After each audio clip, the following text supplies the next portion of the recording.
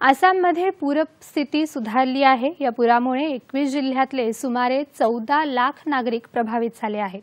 या पुरामुळे मृतांचा आकडा एकशे अठ्ठ्याऐंशीवर पोहोचला आहे. एक हजारांहून अधिक गावं पाण्याने वेढले गेले आहेत.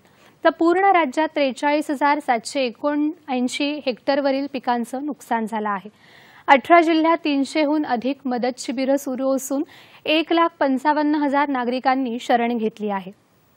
या पुरामुळे अनेक जिल्ह्यातील रस्ते पूल मार्गांचं मोठ्या प्रमाणात नुकसान झालं आहे.